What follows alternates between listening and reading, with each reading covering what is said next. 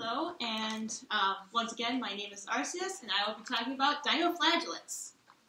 So, what are dinoflagellates? They are these uh, usually single cellular organisms that will sometimes form colonies that are uh, called protists or part of the SAR supergroup. And what that means is they're not animals, they're not plants, they're not fungi or bacteria, but we don't really have anywhere better to put them because we don't understand their evolutionary history very well, so we just put them in this huge SAR supergroup. And there are 2,000 fossils, or sorry, there are 2,000 species currently living today, and at least 2,500 fossil species that we've found so far. And so they're a very evolutionarily old uh, group of creatures, and also very diverse. And so they have a variety of different ways that they get their energy, including eating other small organisms, uh, photosynthesis like plants, a combination of hunting and photosynthesis, and then there are also some that will form symbiotic relationships with coral uh, that they provide the coral with sugar and the coral provides them with a nice safe home. And uh, basically, dinoflagellates are this huge diverse group and their uniting feature is a flagellum, which is a whip-like hair that they'll use to swim around. But several species will lose it at some point in their in their life cycle, and so it can be hard to, te- to tell what is a dinoflagellate. And uh, what's really cool is that along with all of their marine algae and uh, plants, they provide half of the world's oxygen. And so dinoflagellates are globally distributed with about 90% of its uh, diversity in the oceans, where the most diverse area is the Indo-Pacific. And so here is a distribution of Symbiodinium, which is the um, genus of dinoflagellates that have those relationships with coral, where they will live inside coral and provide them energy in return. And as, a, as it shows, their diversity matches the overall diversity of dinoflagellates being most concentrated in Indo-Pacific. And there are some species that are toxic, so that when they become overabundant, they will cause these red tides and massive fish kills. And then there are other species that are bioluminescent, which means that whenever they are disturbed, they will flash bright blue for a second and then there are some species that are both toxic and bioluminescent. So here are some examples of uh, dinoflagellates. Over on the far side here, we have Pyrocystis fusiformis, named for its oval or fusiform shape. And I actually have a colony of these in my dorm room right now. And then in the middle, we have Gonyaulax polyedra, which has been researched extensively for uh, circadian rhythm and figuring out how an organism knows its day, its night, its dusk, etc. And then finally, we have Pyrocystis lunula, which in a study that I have coming up later was used as a cool uh, bioassay tool to detect pollutants. And so one really cool thing about dinoflagellates is that they have this absolutely massive nuclear genome. And what the nuclear genome is, is the instruction book for building the creature.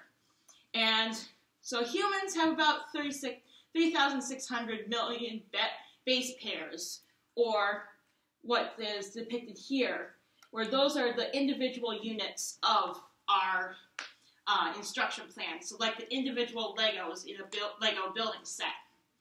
And whereas dinoflagellates have 215,000 million base pairs. So that is a genome that is 60 times larger than a human's, and we really have no idea why they have such an absolutely massive genome. And to add even more confusion on that, they have a unique nucleus or container for that genetic information that is called a dinokaryon.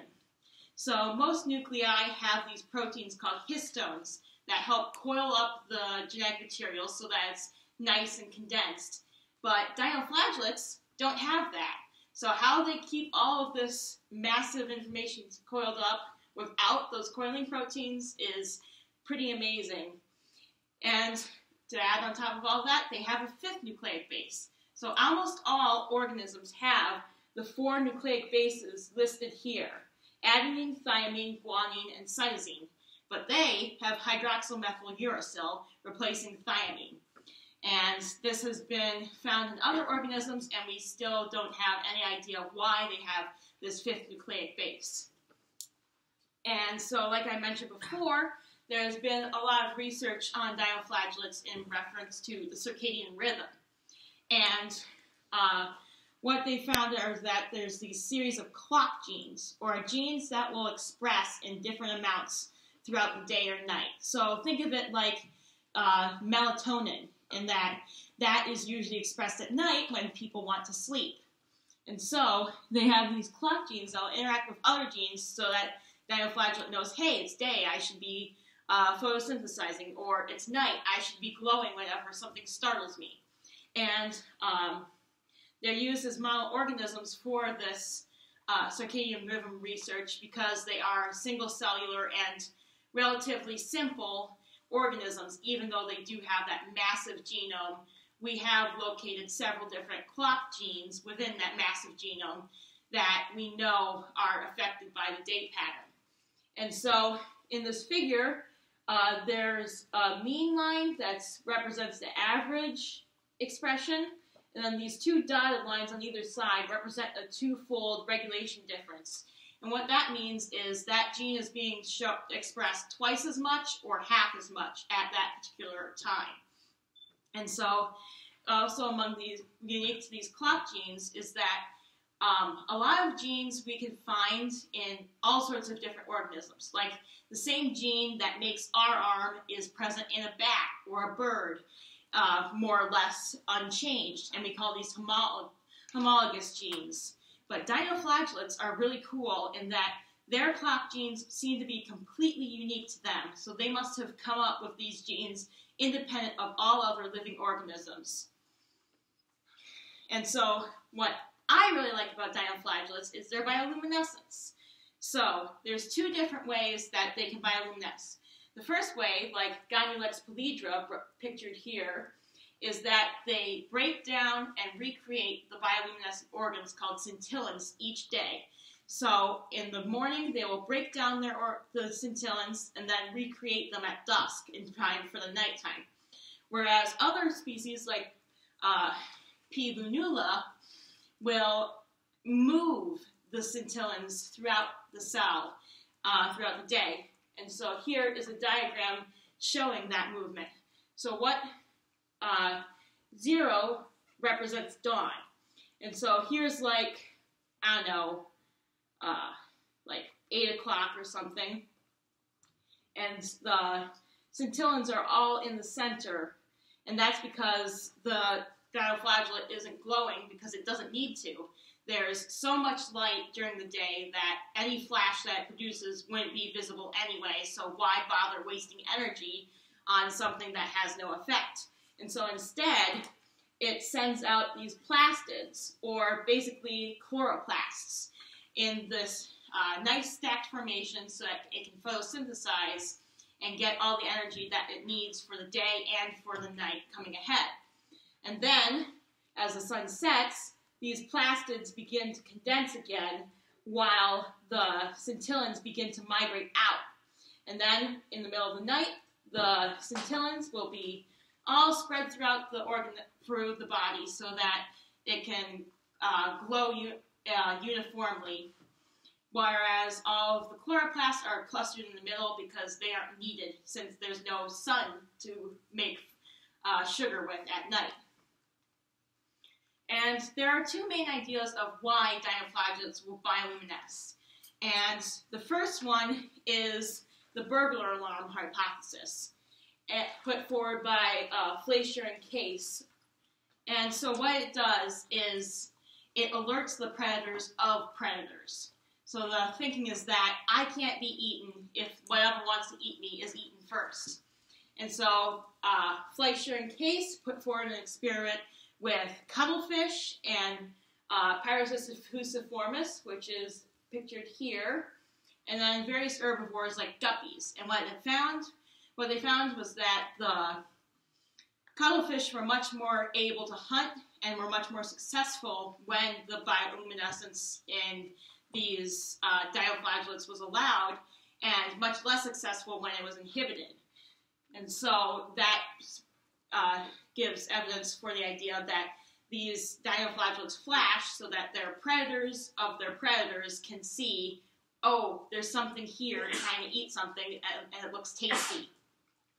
And then uh, another hypothesis uh, done in experiments by Esaias and Curl is the shock and awe hypothesis, where the main idea is that it startles the initial predators of the dinoflagellates.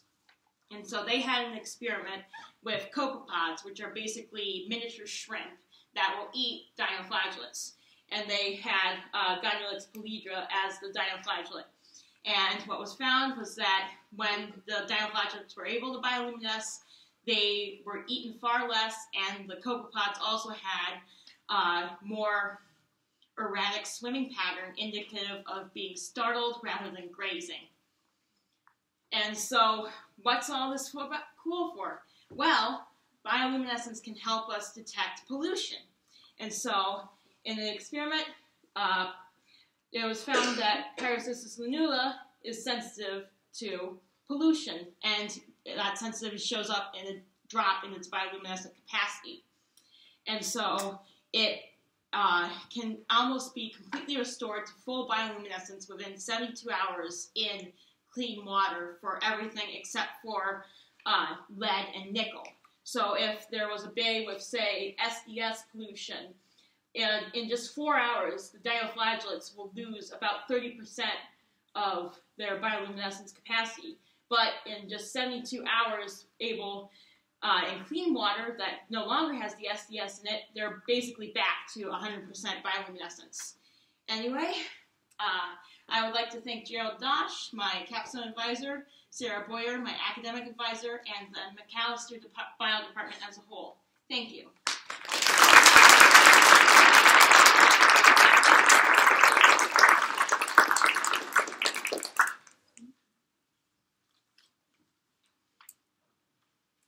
Are there any questions? Yes, Mary. Um, so that's really cool. The organ, like the plastids and the scintillans, right? Moving. Yep, you know, scintillions. Right. Um, do you know if that's mediated by movement along microtubules or microfilaments, or like what part of the cytoskeleton might be mediating that movement? I uh, believe it was the microtubules that did that pushing and pulling.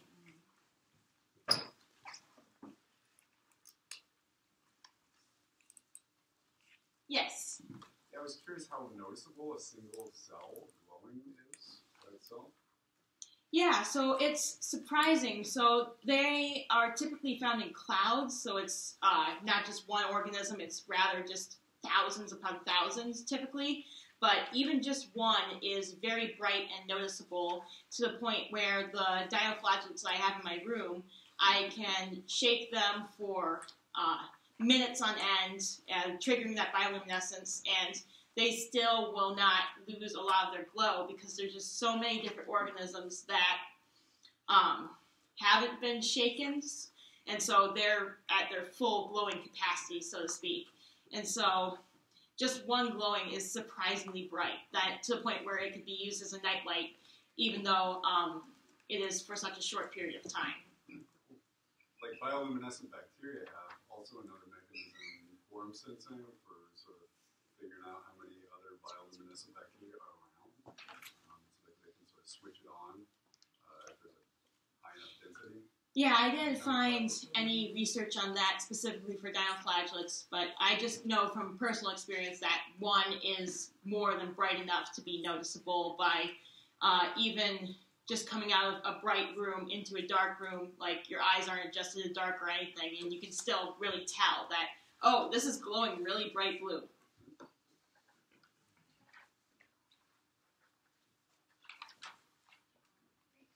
Thank you.